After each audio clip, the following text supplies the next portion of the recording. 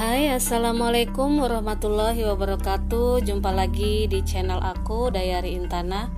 Bagaimana kabar kalian semua guys? Semangat selalu ya oke? Okay? Tidak kurang satu apa pun seperti biasa Dan selalu dalam lindungan Allah subhanahu wa ta'ala. Dimurahkan rezekinya dan dimudahkan semua urusannya. Amin. Oke okay guys.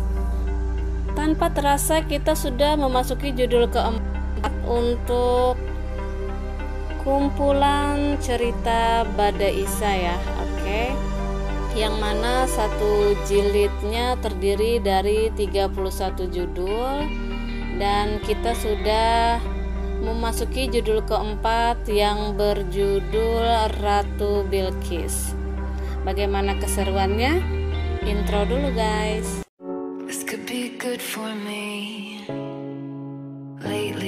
was feeling like I need a purpose. But when you talk to me Give me the impression that I won't scratch your surface. Hai hai hai. Assalamualaikum warahmatullahi wabarakatuh Oke okay guys, jumpa lagi di channel aku Misteri Awakin Live Dayari Intana Sebelum kalian menonton dan menyimak video aku guys, jangan lupa dibantu subscribe dulu ya, diklik tombol lonceng agar kalian selalu mendapatkan info-info terbaru dari aku guys. Jangan lupa juga di like, share, and comment jika menurut kalian video aku ini sangat bermanfaat ya, khususnya untuk kalian-kalian yang senang banget dengan game Avakin ini. Oke okay guys, jangan lupa jika ingin berkomentar, berkomentarlah yang sopan, yang bijak menurut standar pedoman komunitas YouTube guys karena kata-kata yang keluar dari diri kalian adalah cermin dari diri kalian masing-masing oke okay guys langsung saja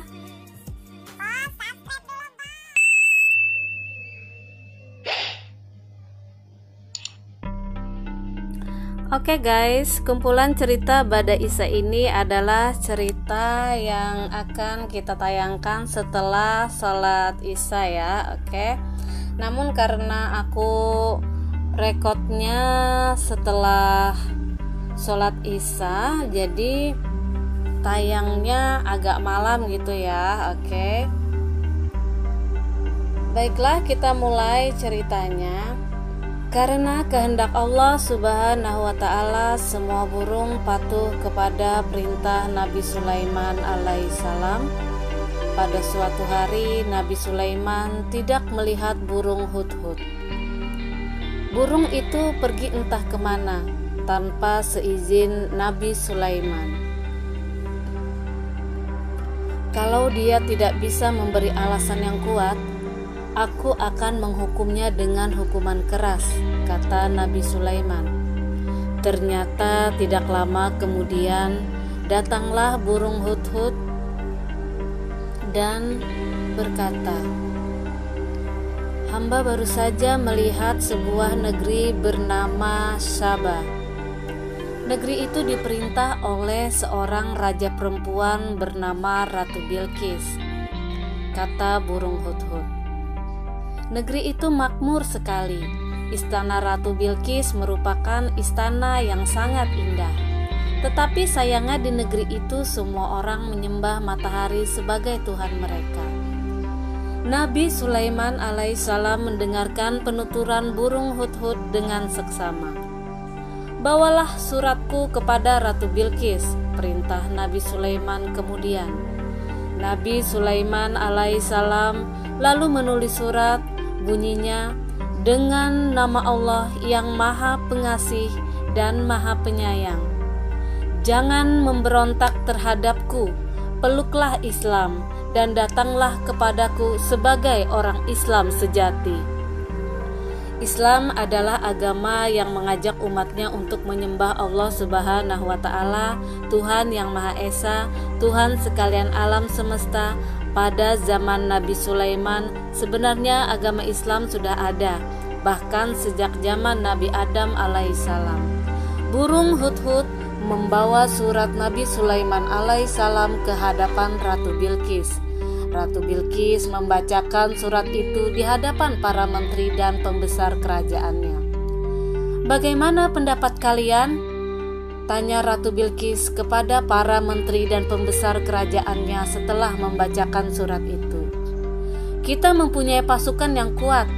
Kita akan sanggup bertempur melawan siapa saja," kata seorang menteri. Namun keputusan untuk itu terserah Baginda Ratu. Ratu Bilqis tahu menteri dan ulu balangnya siap bertempur melawan Nabi Sulaiman alaihissalam dan kerajaannya. Namun, Ratu Bilqis tidak menghendaki peperangan.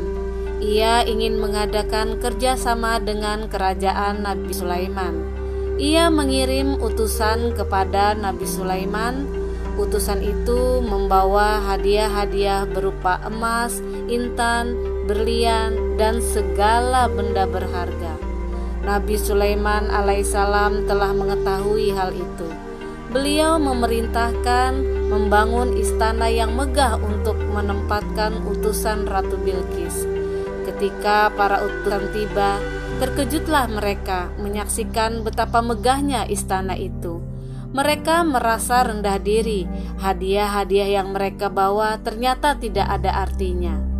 Kembalikan barang-barang itu kepada ratumu, kata Nabi Sulaiman alaihissalam.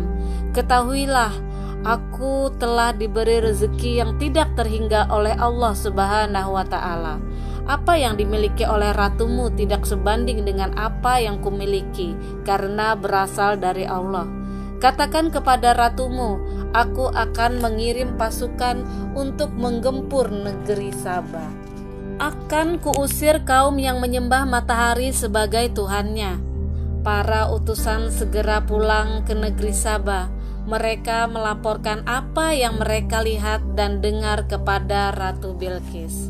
Jadi, semua milikku yang luar biasa ini tidak ada artinya dibandingkan milik Nabi Sulaiman, kata Ratu Bilqis. Betul, tuanku, Nabi Sulaiman mengatakan semua itu dari Allah. Ratu Bilqis termanggu-manggu. Ia menyembah matahari sebagai Tuhannya sedangkan Nabi Sulaiman alaihissalam menyembah Allah. Selama ini Ratu Bilqis menyangka tentaranya yang paling kuat, tetapi tentara Nabi Sulaiman terdiri dari manusia dan jin yang jumlahnya banyak sekali. Jika mereka datang menyerbu, tentu dengan mudah bisa mengalahkan tentara Sabah. Kita harus segera menghadap Nabi Sulaiman sebelum beliau mengirimkan tentara untuk menyerang kata Ratu Bilqis. Matahari yang kita sembah ternyata bukan Tuhan yang maha kuat. Ratu Bilqis sadar bahwa ia dan rakyatnya keliru menyembah matahari. Oke okay guys, bagaimana ceritanya? Itu adalah judul yang keempat namun masih bersambung ke judul kelima yang berjudul Istana Kaca. Oke, kita lanjut saja. Nabi Sulaiman alaihissalam sedang bersama bala tentaranya. Mereka terdiri dari manusia dan jin. Hari itu Nabi Sulaiman mengetahui bahwa Ratu Bilqis dari negeri Sabah akan datang. Siapa di antara kalian yang bisa memindahkan istana Ratu Bilqis ke sini sebelum Ratu Bilqis tiba? Tanya Nabi Sulaiman. Ada jin yang sanggup melakukan itu. Jin itu berkata, "Hamba sanggup memindahkan istana itu sebelum pertemuan ini berakhir, tuanku." Hebat sekali kalau begitu. Tetapi ada seorang hulu balang menyahut, "Dengan perkenan Allah Subhanahu wa taala, hamba sanggup melakukannya dalam sekejap mata, tuanku." Nabi Sulaiman alaihissalam mengejapkan mata Ketika beliau membuka mata, istana Ratu Bilqis benar-benar telah berada di hadapan beliau. Ini adalah salah satu karunia Allah, kata Nabi Sulaiman. Allah menguji apakah kita masih bisa bersyukur terhadap karunia-Nya atau tidak. Jika kita tidak bersyukur, berarti kita menjadi sombong. Allah membenci makhluk yang sombong. Nabi Sulaiman alaihissalam lalu memerintahkan supaya istana Ratu Bilqis diubah, diberi hiasan-hiasan yang indah sehingga menjadi lebih megah daripada aslinya. Tidak lama kemudian, datanglah Ratu Bilqis dan hulu balangnya. Ratu Bilqis terkejut melihat istananya berada di negeri Nabi Sulaiman. "Apakah istana Anda seperti ini?" tanya Nabi Sulaiman alaihissalam. Tampaknya ya, persis sekali. Tetapi yang ini lebih megah dan lebih indah. Bagaimana istana ini bisa berada di sini? Kebesaran Allah memungkinkan apa saja bisa terjadi. Selain memindahkan istana Ratu Bilqis, Nabi Sulaiman alaihissalam juga telah memerintahkan membangun istana kaca yang indah. Nabi Sulaiman mengajak Ratu Bilqis memasuki istana itu. Ratu Bilqis kagum bukan main menyaksikan istana berkilau-kilauan memantulkan cahaya matahari menjadi berwarna-warni. Seumur hidupnya, belum pernah ia menyaksikan keindahan serupa itu. Ketika memasuki istana kaca, Ratu Bilqis mengangkat gaunnya hingga sebatas lutut. Ia menyangka di lantai istana itu ada air menggenang. "Apa yang Anda lakukan ini?" tanya Nabi Sulaiman alaihissalam. "Bagaimana mungkin di dalam istana ada genangan air? Itu adalah kaca yang berkilauan." Ratu Bilqis merasa sangat malu. "Oh Tuhanku, selama ini aku telah berlaku keji dan bodoh dengan menyembah Tuhan selain engkau, seru Ratu Bilqis. Sungguh engkaulah Tuhan semesta alam. Kini aku memeluk agamamu dan aku menyerahkan diriku semata-mata untuk menyembahmu. Ratu Bilqis dan seluruh bala tentaranya masuk Islam. Juga seluruh rakyat di negerinya. Mereka menyembah Allah Subhanahu wa taala, Tuhan yang Maha Kuasa, tiada Tuhan selain Dia dan cerita pun selesai. Oke okay guys, bagaimana cerita kali ini? Sangat menarik bukan? Jadi kali ini dua judul sekaligus ya. Judul keempat Ratu Bilqis dan yang kelima berlanjut judulnya ke Istana Kaca. Oke. Okay? Pesan dari cerita ini adalah apa saja bisa terjadi jika Allah Subhanahu wa taala menghendakinya. Oke? Okay? Jangan lupa buat kalian yang ingin berkomentar, berkomentarlah yang sopan, yang bijak menurut standar pedoman komunitas YouTube karena kata-kata yang keluar dari diri kalian adalah cermin dari diri kalian masing-masing. Buat kalian yang baru saja menemukan channel aku, welcome. Dan jangan lupa untuk mengklik tombol lonceng karena aku tidak sabar lagi buat jumpa kalian di esok hari. Terima kasih buat kalian semua yang selalu berpartisipasi untuk berkembangnya channel aku. Buat kalian yang selalu stay yang selalu menonton video aku aku ucapkan terima kasih banyak karena tanpa kalian channel aku tidak akan berkembang. Aku Dayari Intana mohon pamit undur dulu. Mohon maaf bila ada salah-salah kata. Terima kasih sudah menonton. Assalamualaikum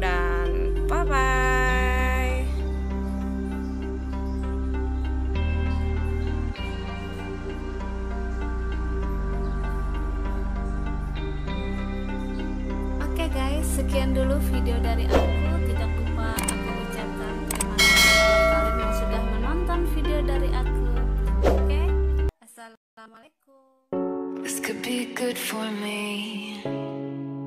Lately I was feeling like I need a purpose. But when you talk to me Give me the impression that I won't scratch your surface. And I could walk for days Searching for your praise